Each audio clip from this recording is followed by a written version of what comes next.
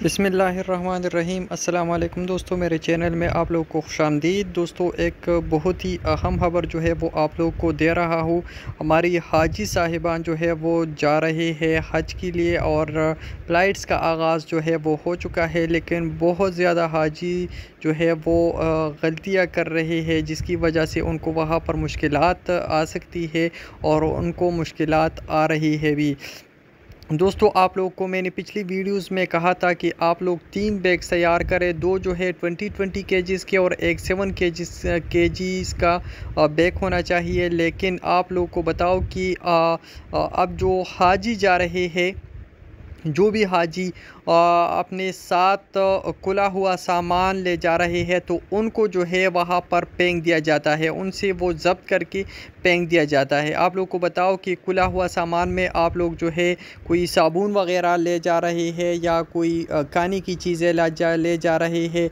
जो भी चीज़ है आप शॉपर में ले जा रहे हैं या हाथ में पकड़ कर ले जा रहे हैं, ठीक है? तो वो जो है आपसे वो लेंगी वहाँ पर एयरपोर्ट पर और वो पेंग देंगे, ठीक है? वो, उसकी कोई इजाज़त नहीं है। इसके साथ साथ शॉपर में कोई चीज़ आप न ले जाए वरना शॉपर ही न ले जाए। शॉपर जो है, वहाँ पर पेंग दिया जाता है। आप लोग को जो रूल्स है वो मैंने बता दिए थे कि दो बैग्स अलाउड है जो लगेज में ले जा सकते हैं आप ट्वेंटी ट्वेंटी के का यानी फोर्टी के का आ, की बैग्स ठीक है?